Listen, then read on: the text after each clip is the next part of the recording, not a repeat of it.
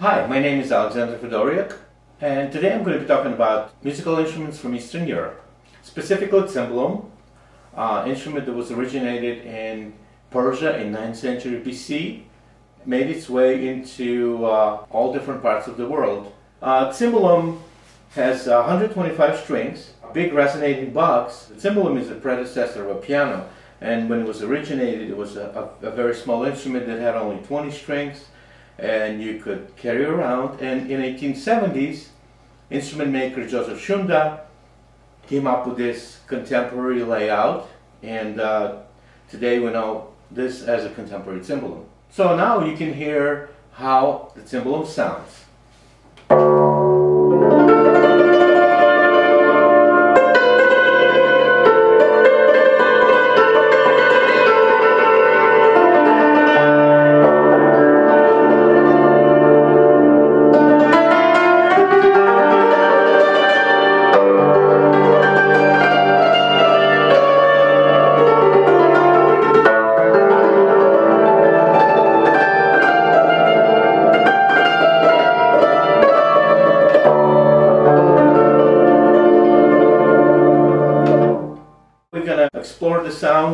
Traditional Ukrainian cymbali, where they use uh, very short sticks and uh, they don't have anything on it, no cotton, no string on it, just uh, bare wood, and the sound is very metallic.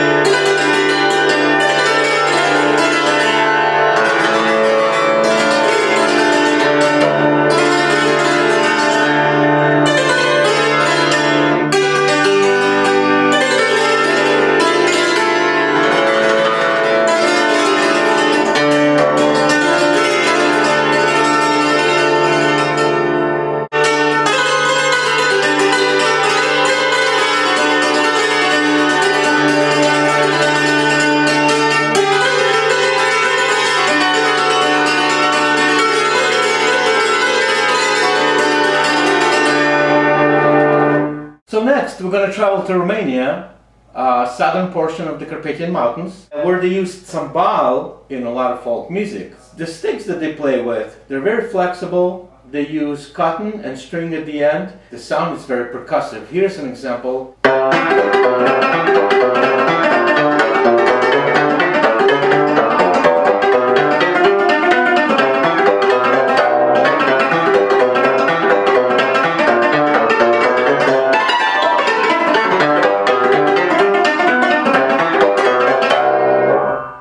Next stop on our journey will be Hungary, where cimbalom was developed into a form that we know today. Joseph Schunda, a musical instrument maker, he developed fully chromatic system that spans five and a half octaves. A damper system which uh, involves dampers and the pedal, the sustain pedal that when you press down it lifts or lowers the, the dampers. And that's one of the biggest advantages of the cimbalom which is uh, part of the hammer dulcimer family all the instruments that have strings and uh, you hit with hammers belong to a hammer dulcimer family. So in Hungarian traditional music, a lot of times they use sticks They're much softer than in other regions. It imitates the sound of the piano. Here's an example.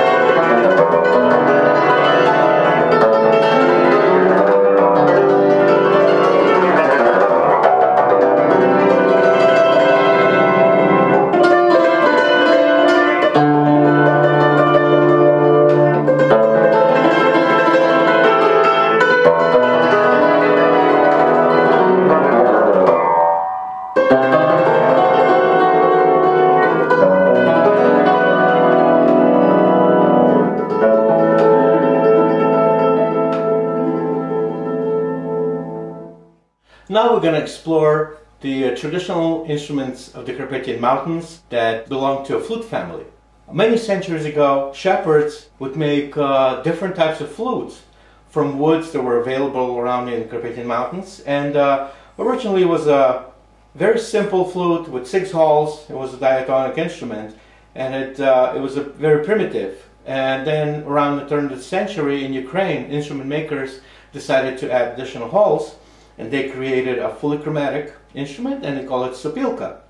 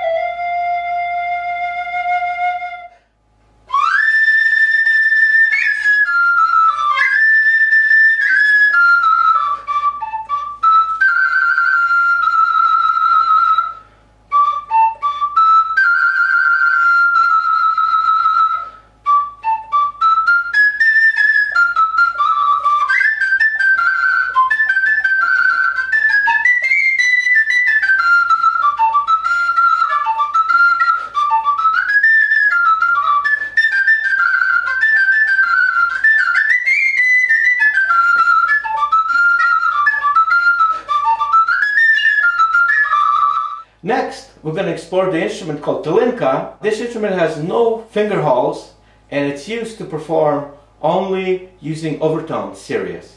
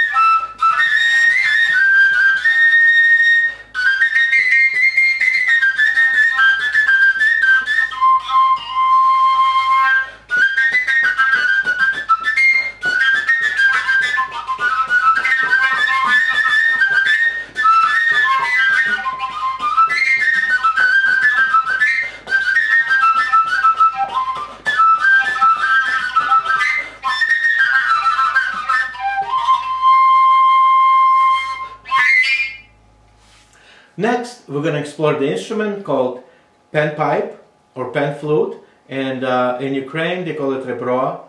In Romania, they call it nai.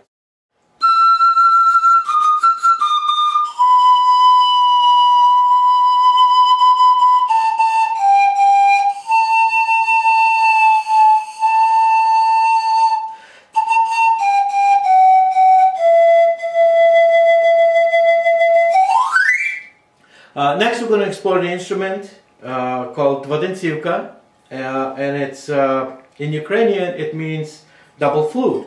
So there's two flutes uh, that glue together and one is a drone, has no finger holes and the other one has six finger holes and here's how it sounds.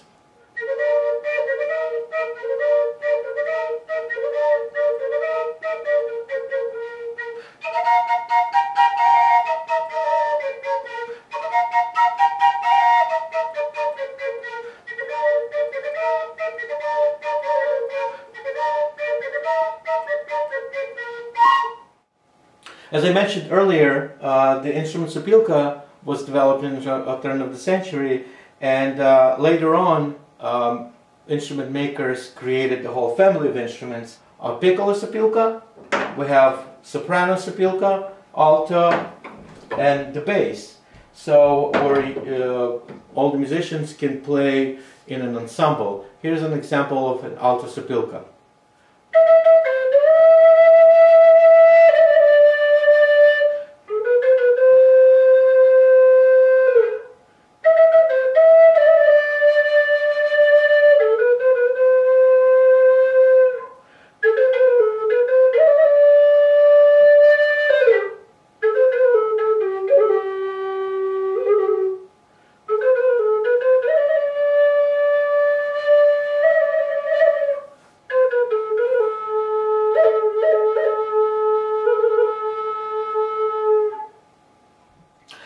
Another instrument that imitates bird calls uh, is known as ocarina, and in Ukraine they call it zozulka, which is the name for the bird, and it's usually made out of clay.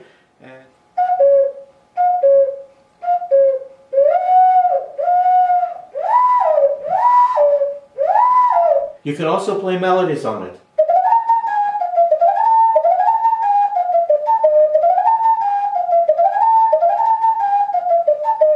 Have uh, another a simple version of the Zozulka which has only four halls. This one mostly imitates sound of the birds.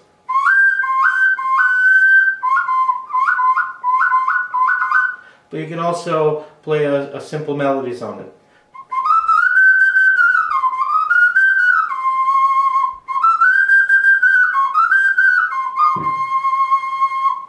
Another instrument in Carpathian Mountains is the jaw harp. I